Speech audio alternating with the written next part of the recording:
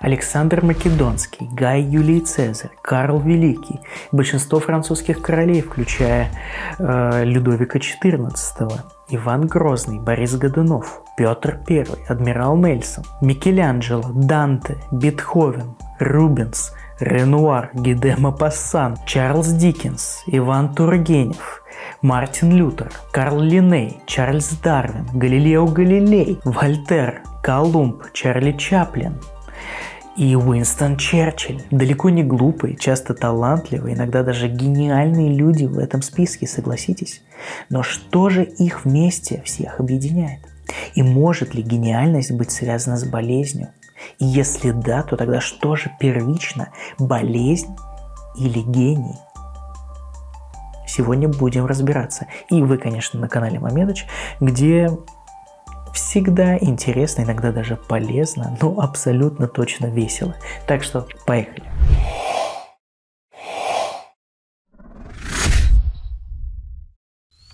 Много интересной информации о медицине можно найти теперь не только на ютубе, но и в телеграме. И сегодня я хочу порекомендовать вам такой крутой, интересный телеграм-канал, как «Записки судмедэксперта». На этом телеграм-канале вы наконец-то узнаете, чем отличается судмедэксперт от патологоанатома, как проводится судебно-медицинское вскрытие, увидите реально настоящие фотки с него. Узнаете, как же судмедэксперт узнает причину смерти по трупу и другим признакам. И также вы узнаете там много интересных фактов, например, как снимают отпечатки пальцев с трупа. Ну, конечно, найдете в этот канал по ссылке в описании, переходите и погружайтесь в мир судебно-медицинской экспертизы. Иногда с гениальностью связывают синдром Саванта. Мы все знаем его прекрасно по э, сериалу «Хороший доктор», на который я делаю много осмотров, вот ссылочка, поэтому проходите, обязательно посмотрите несколько э, моих обзоров на этот сериал, действительно очень интересный сериал. Но синдром Саванта – это э, когда гениальные способности, они связаны вместе с аутизмом. Но те люди, которых я перечислил, они, конечно, не были аутистами, потому что если бы они были аутисты, скорее всего, не смогли бы стать такими великими учеными, политиками, управленцами или художниками. Что же все всех их объединяет? Я думаю, что многие из вас уже догадались. Это подагра. Подагра – это болезнь либо гениев, либо королей – так их часто называют. Или, как э, ее еще называют, хромая спутница гениев. Потому что в большинстве случаев подагра поражает суставы. И в связи с этим иногда к последним годам жизни эти люди, страдающие подагрой, а, они не могут передвигаться, и поэтому, например, короли, которые страдали подагрой, они не могли вставать на свои ноги, и поэтому сидели постоянно в кресле, и их катали уже, если это кресло, конечно, имело колесики. Как показывают некоторые исследования, среди талантливых или гениальных людей обнаруживается от 50 до 50 процентов людей с подагрой. В связи с чем это связано? Сегодня чуть попозже разберемся. И этот вопрос мне, кстати, задавала и всей нашей группы задавала преподаватель по биохимии. Кстати, были и хорошие преподаватели в университете. И очень спасибо, что биохимию нам объясняли очень классно, интересно. И я думаю, что вам тоже понравится сегодняшнее объяснение. Но сначала поймем, что же такое подагра. Подагра – это болезнь, которая связана с повышенным уровнем мочевой кислоты а, в организме, в крови и последующем эта мочевая кислота откладывается, э, превращаясь в кристаллы, в основном в суставах, либо в почках. Поэтому страдают либо почки, либо суставы. Но чаще всего и те, и другие. Причем суставы страдают и мелкие, и крупные, и чаще всего страдает именно сустав большого пальца ноги, и иногда могут происходить такие подагрические приступы атаки, когда этот суставчик, это большой палец ноги, он вызывает жуткую боль, что человек просто не может даже заснуть из-за этой боли и никак не может ее убрать. В связи с этим э, иногда предпринимаются, например, э, попытки принять аспирин или другие нестероидные противовоспалительные средства, которые могут только ухудшать результат. Поэтому это очень серьезная болезнь, которая в начале при повышении уровня мочевой кислоты может даже быть незаметной. Откуда же берется у нас в организме мочевая кислота? Почему она не уходит с мочой, хотя должна была бы уходить с мочой? Есть э, две причины. Либо а эта мочевая кислота не уходит э, с почками, фильтруясь и, и с мочой, либо ее очень много в крови, что она просто не успевает отфильтроваться и вывестись из нашего организма. Но э, мочевая кислота, что же это такое? Это продукт переработки пуринов. Что же такое пуринов? пурины, спросите вы, и будете правы, потому что а, всему есть свое объяснение. Есть пурины и есть пирамидины. Это такие вещества, из которых появляются нуклеиновые кислоты.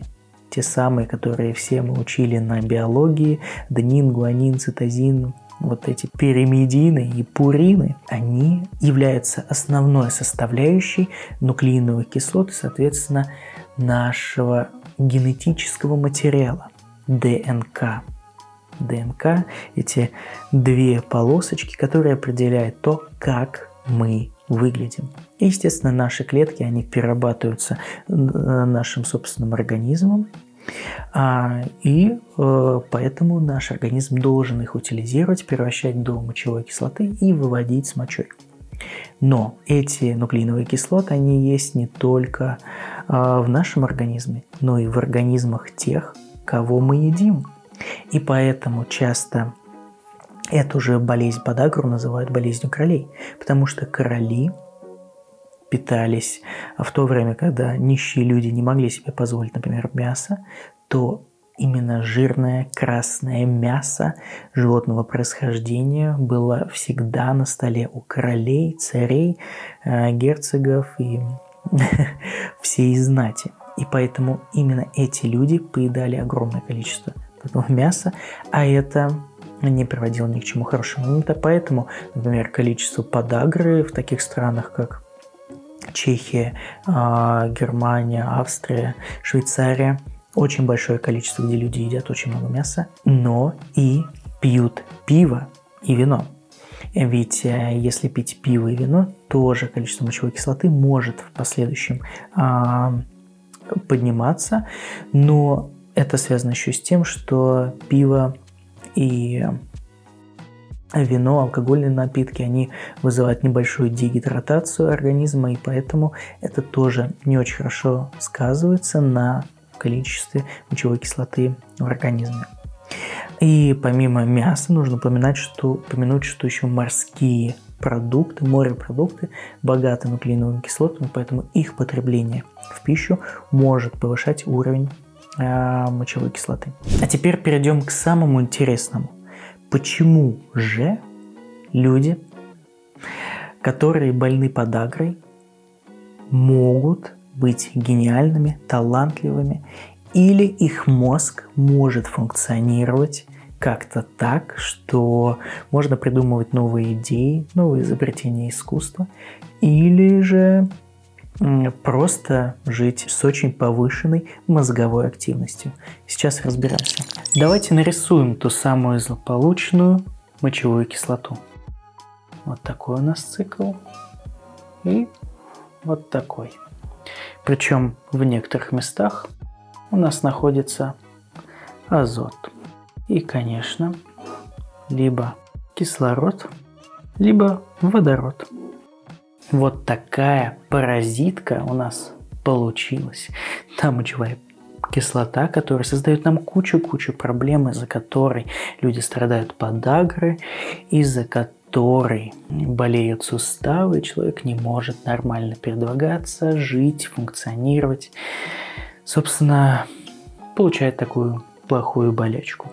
Но что сделать или что будет, если заменить несколько водородов в этой схеме на другие углеродные группы?